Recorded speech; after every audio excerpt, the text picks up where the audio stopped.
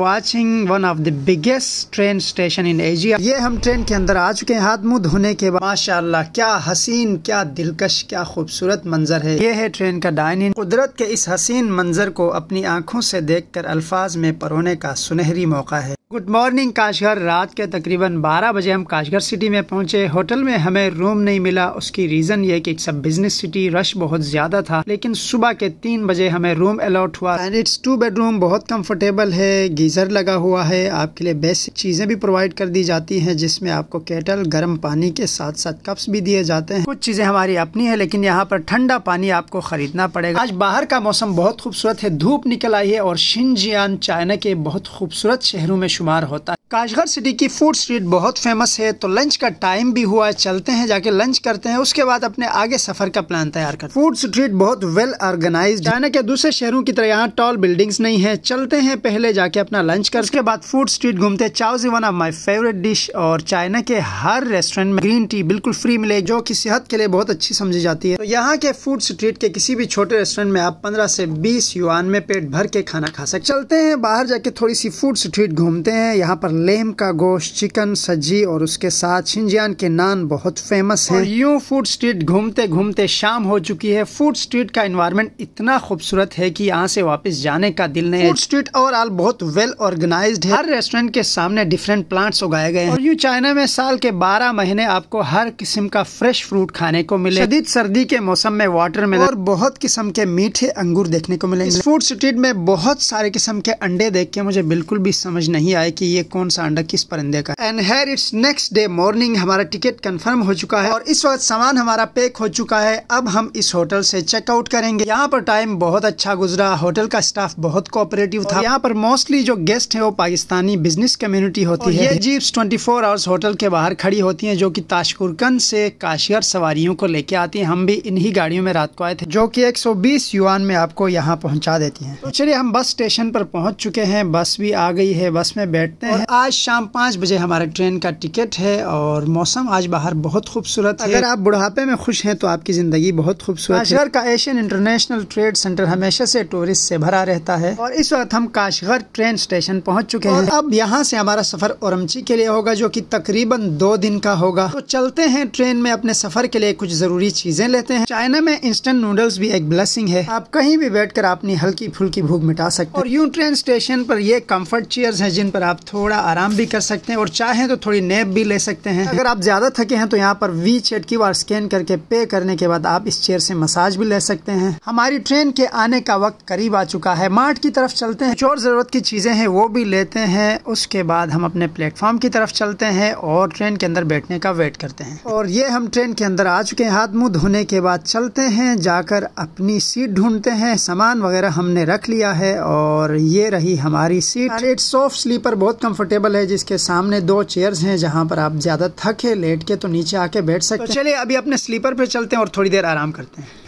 और इस वक्त रात के दो बजे हैं और ट्रेन मुसलसल चल रही है और खाने पीने का सामान भी यहाँ टाइम टू टाइम पहुँच रहा है। चलिए एक दफ़ा फिर से अपनी नींद पूरी करते हैं और मिलते हैं सुबह सवेरे।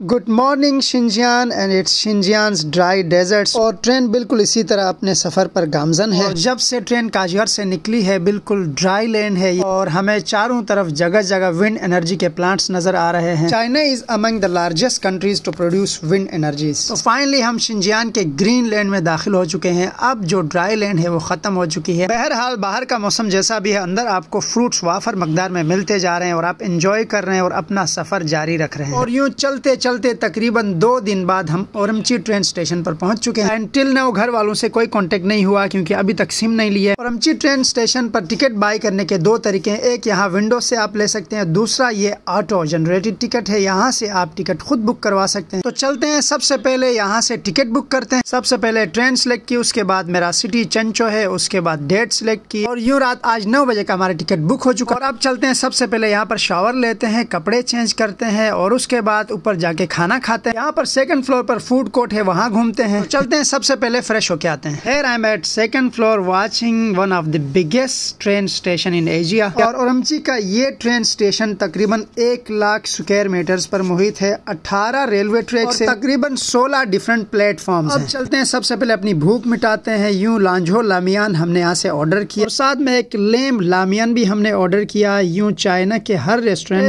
सासू बिल्कुल फ्री में मिलेगा। चाइना में हैंडमेड नूडल्स की इतनी किस्में हैं कि आप कभी गिन भी नहीं सकते but this यांग्रो लामियन is one of our favourite dish and it's very tasty और इस वक्त हम ट्रेन स्टेशन से बाहर आ चुके हैं। आपको अपने अगले सफ़र के बारे में थोड़ा सा बताता चलूँ। अब हम यहाँ औरमची से चंचो की तरफ़ निकलेंगे जो की हमारा फाइनल डेस्टिनेशन होगा। हमारी इस ट्रेन का सफ़र भी तकरीबन 48 से 50 घंटे का होगा जो की इनर मंगोलिया से होते हुए चंचो पहुंचेगी। और एक दफ़ा फिर से यहाँ की मार्ट से 48 घंटे सफ़र के लिए कुछ तैयारियाँ कुछ अपनी फेवरेट स्नैक्स और अब चलते हैं नीचे ग्राउंड फ्लोर पर जाकर अपना मोबाइल फ़ोन चार्ज करते हैं। और अगर आपके पास चार्जिंग बैंक नहीं है तो यहाँ पर क्यूआर स्कैन करके चार्जिंग बैंक उठाए। एक घंटे के लिए चार्जिंग बैंक और आपका मोबाइल फुल और ट्रेन हमारी आ चुकी है। चलते हैं, अपना पासपोर्ट दिखाते हैं और चलते हैं ट्रेन के अंदर। And here we are inside the train और इस वक्त रात के नौ बज चुके हैं। अभी जाते हैं और जाके अपने स्लीपर में आराम करते हैं। और कल हमारी ट्रेन इंतहाई खूबसूरत सीनिक एरिया से गुजरने वाली है। And it's a very big surprise for you so stay with me let's have some rest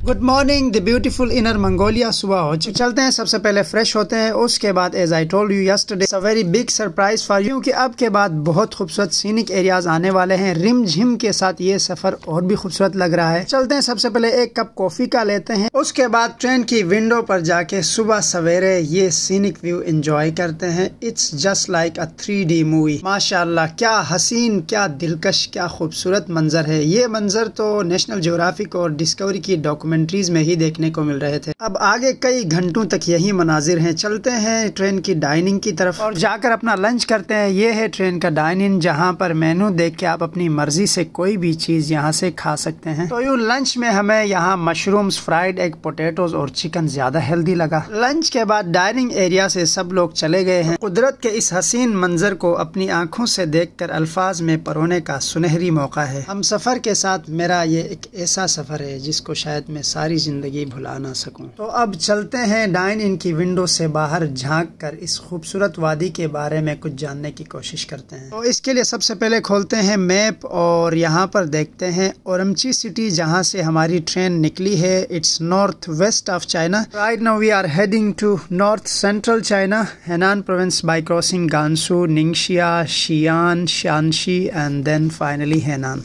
और इस मैप पर देख के थोड़ा सा अंडरस्टैंड करें तो हम चाइना के नॉर्थ वेस्ट कॉर्नर से सेंट्रल कॉर्नर की तरफ़ जा रहे हैं जो कि तकरीबन चार हज़ार किलोमीटर और है। इस ड्राई लैंड को क्रॉस करते हुए हम इनर मंगोलिया की पट्टी से होते हुए हबे प्रोविंस में दाखिल हो रहे हैं। उसके बाद हमारा प्रोविंस हैनान जहाँ से आप इजिली साउथ कोरिया और जापान भी जा सकते हैं। और इस वक्त हमारी ट्रेन इनर मंगोलिया के प्लेन से होते हुए कनास सीनिक एरिया को क्रॉस कर रही है। और इस साल आटम के सीज़न में शिंजियान प्रोविंस में ग्रेन कॉर्न सोयाबीन राइस और पोटैटोज कास्ट किए जा रहे हैं। Specifically currently corn harvesting is mainly concentrated in Kashgar prefecture और इनर मंगोलिया के ये खूबसूरत प्लेन्स चाइना का एग्रीकल्चर को बूस्ट अप करने के लिए एक बहुत बड़ा रोल प्ले करते हैं। अकॉर्डिंग टू दिनख्वा न्यूज़ इस साल शिंजियान प्रोविंस में तकरीबन 41.3 मिलियन मेगा यूनिट गंदम को प्रोड्यूस करने का टारगेट सेट किया गया है जो कि पिछले साल की नस्बत 14 मिलियन टन का इजाफा होगा। वाई नॉट जब आप इतने बड़े पैमाने पर एग्रीकल्चर पर इन्वेस्ट करते हैं, अपने किसानों को फैसिलिटीज़ देते हैं तो फिर आपके मुल्क के किसानों की तरक्की के साथ साथ मुल्क की तरक्की भी मुमकिन हो जाती है। इनर मंगोलिया के ये प्लान एक तरफ़ तो चाइना के एग्रीकल्चर को बूस्टअप करते हैं, इसके साथ साथ ये प्लेन्स पूरी दुनिया के टूरिस्ट को अपनी तरफ़ अट्रैक्ट करते हैं।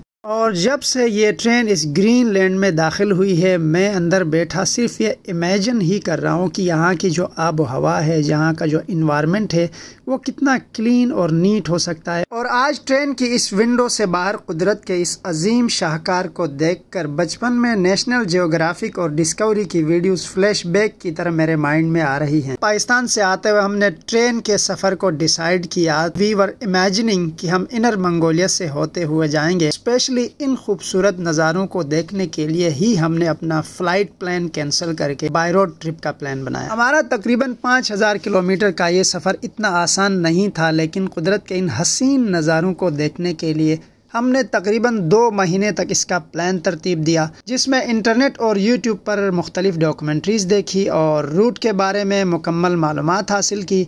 और इसके साथ चाइना में मुकीम कुछ दोस्तों से हमने मौसम का हाल भी पता किया। जो कि इस वक्त हमें नज़र भी आ रहा है बहुत सारे टनल्स को क्रॉस करने के बाद हम बिल्कुल डिफरेंट एक प्लेस पर पहुँच चुके हैं। अगर आप गौर कर रहे हैं तो हम ज़्यादा ठंड की तरफ़ जा रहे हैं। जब हम औरमची से निकले तो मौसम बिल्कुल नॉर्मल था ना तो गर्मी ना सर्दी लेकिन जू जू हम आगे इनर मंगोलिया में इन होते गए सर्दी की शिद्दत बढ़ती गई। दूर पहाड़ों पर बर्फ़ भी एक खूबसूरत मंजर पेश कर रहा है। इस वक्त हम किसी गाँव से होते हुए गुजर रहे हैं। हैं जहाँ सामने लोगों की देही खूबसूरत ज़िंदगी भी देखने को मिल रही है। और मुझे भी बजाते खुद चाइना के बहुत सारे गाँव देखने का मौका मिला है। इनके जितने भी गाँव होते हैं, वो बहुत डिवेल्प होते हैं वहाँ की सड़कें। हर बेसिक फैसिलिटी उनको प्रोवाइड होती है। जदीद टेक्नोलॉजी मुझे बहुत सारे गाँव में देखने को मिली, जहाँ पर मोस्टली टेक्नोलॉजी की मदद ऑफ़ सीज़न जो फ्रूट्स हैं, वो उगाए जाते हैं। And finally here is a good news हम खबे प्रोविंस से होते हुए अपने हेनान प्रोविंस में दाखिल हो रहे हैं। और इस वक्त जो हमारी हमारी ट्रेन है, वो सिटी के अंदर दाखिल हो रही है। And this will be our last destination कुछ ही देर बाद हम चंचो सिटी पहुँच जाएँगे। And here we reach shuttle service से हम अब सबवे की तरफ़ जा रहे हैं और and here this is subway after three years of long time here we have reach Zhengzhou city and here no it's Henan University of Economics and Law एक नए ड्रीम एक नए एम्बिशन और एक नए सफ़र के साथ हम अपनी यूनिवर्सिटी पहुँच चुके हैं। और अब के बाद मजीद छह साल का सफ़र भी इसी तरह आपसे यूट्यूब पर शेयर करता रहूँगा। तब तक के लिए अल्लाह हाफिज़।